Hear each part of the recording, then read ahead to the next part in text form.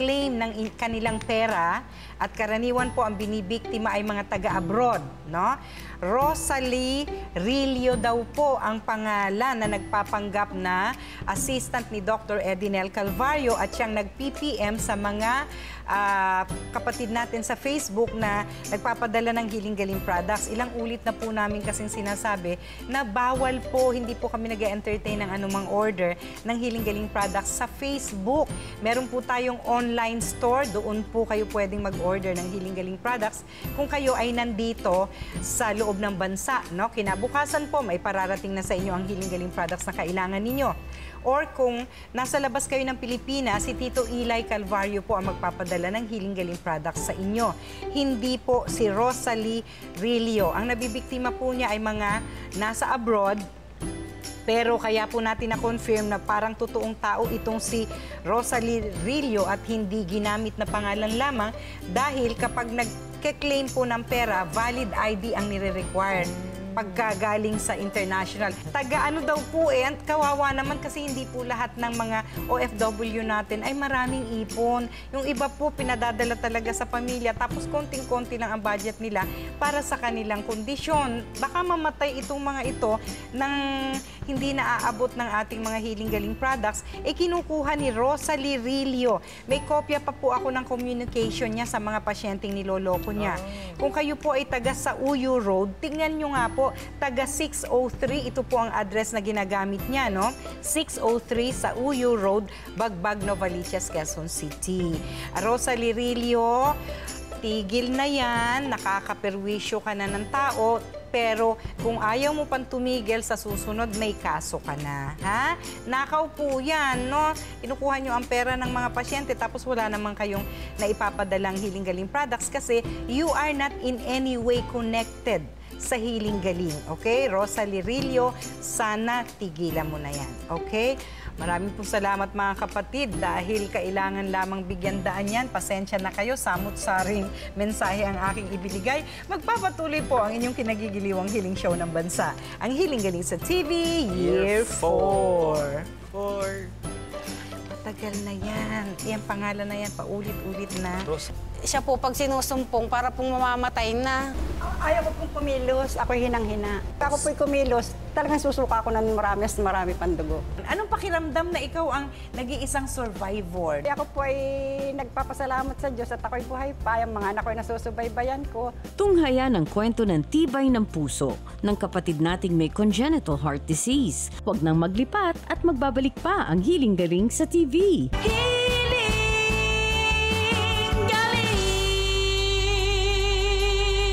Ang bagong segment natin sa kusina, ang Susi Mail. Magbabasa po tayo ng mga karagdagang liham na pinapadala ng ating mga kapatid via snail mail o galing sa Koreo. At sasagutin po natin ang kanilang mga tanong. Kung nais niyo magpadala ng liham kay Susie Mail, sumulat lang po kay Dr. E o di kaya po sa akin at ah, ipadala niyo mga liham sa Healing Galing sa TV, Stem Cell and Longevity Clinic Building, second floor, 522, Quirino Highway, near Corner Mindanao Avenue, Novaliches, Quezon City.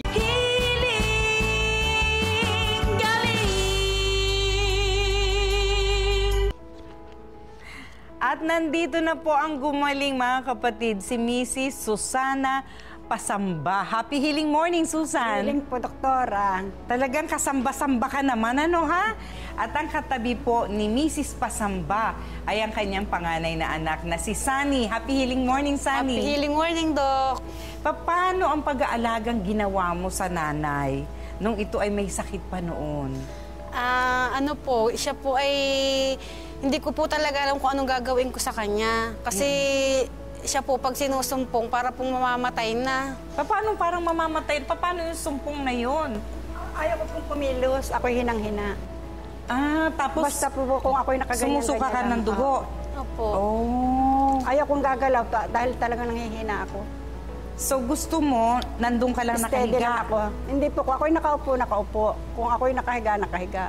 na hindi kumikilos. Na hindi Opo, kikilos. Dahil ano ang pakiramdam mo Pag pag, ako- ikaw ay kumilos? Pag ako po'y kumilos, talagang susuka ako ng marami, mas marami pang dugo.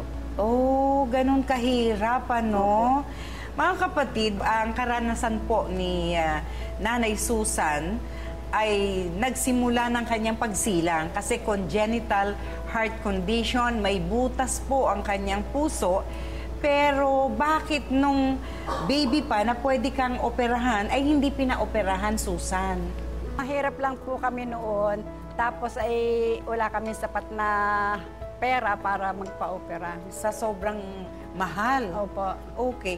Si Susan po ay may kakambal, no? At sa kanilang magkapatid, siya yung weakling, siya yung mahina.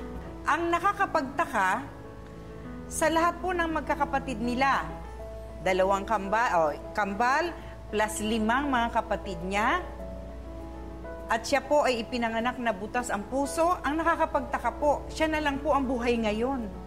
No? siya na lang po ang nakasurvive. Hindi po ba kasamba-samba itong si Mrs. Pasamba? Anong pakiramdam na ikaw ang nag-iisang survivor ng inyong pamilya? Sa unang ano, ay ako po ay nagpapasalamat sa Diyos at ako'y buhay pa. Yung mga anak ko'y nasusubaybayan ko. Pero nakakalungkot din po na wala akong kapatid, wala akong ano. Wala na. Wala na. Okay. Ngayon po, mga kapatid, dahil nga sa alam ng magulang niya at sinabi rin ng doktor na may butas ang puso ng, ng sanggol na si Susana, no? Ay sinabi pong ah, baka abutin niya ay hanggang 15 anyos lamang dahil sa may butas ang kanyang puso at posibleng siya po ay mawala na sa mundo. No? Opo. Tama ba yun? Opo. Okay. So hanggang 15 years old, may taning. Opo. Habang lumalaki ka, pa, paano ang pakiramdam na, naku, malapit na ako mag 15 years old, yung taning ng doktor? Iniisip mo ba yon? Hindi po, lagi ko po iniisip na ako ay normal. Ah, ganon. Opo. Okay. Maganda yon no? Positive thinking, no? Ah, nung 16 years old, may mens na. Opo. Di ba? Okay. Um, Doon ba sa panahon na ikaw ay lumalabas ang dugo sa bibig, tuloy pa rin nung ikaw ay may menstruation na? Hindi na po. Wala na sa bibig? Wala na sa bibig. Okay. Tapos, ano ang nangyari naman? Dito na sa baba na ng puso. ba naman?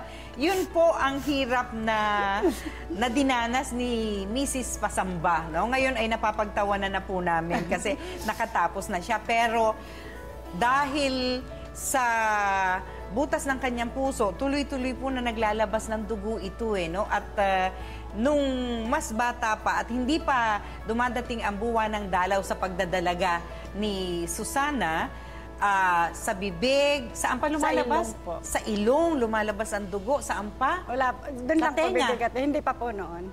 Na, nawala na po yung pagsuka sa bibig at wala ng dugo sa ilong na lumalabas, pero ang menstruation po ay kakaiba. No? Opo. Ah, gaano kadami yung lumalabas na dugo sa panahon ng menstruation? May panahon po na ang aking ninanapkin ay t-shirt na.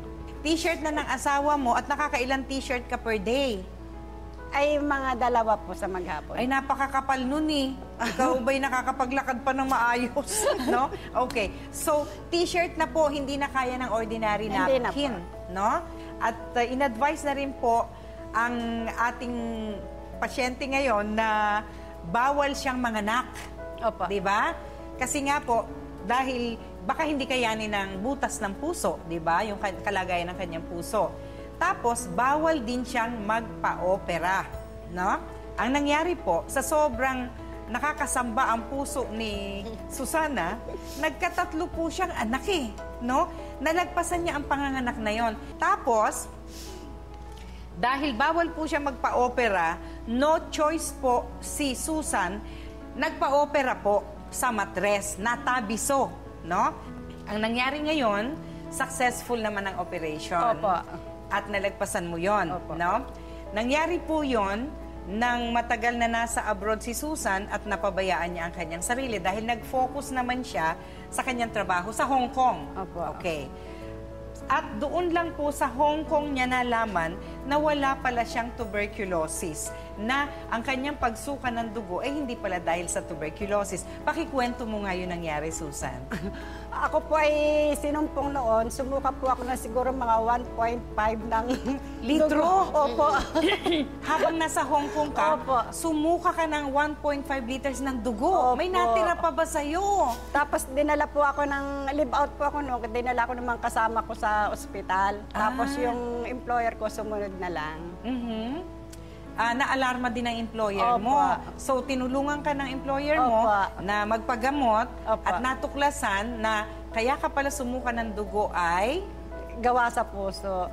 Yun. Tapos, hindi naman natakot yung kanyang mga boss doon dahil hindi naman pala nakakahawa. Kaya tinuloy mo pa rin ang trabaho mo. Opo, pinayuhan pa ako ng employer ko. Ay ako po nga pinag ah, gustong kunin ng mga malalaking ospital sa Hong Kong. Dahil? Ay pag-aaralan po siguro, Ah, ay pinayuhan pa ako ng employer ko na huwag akong magpapa-opera.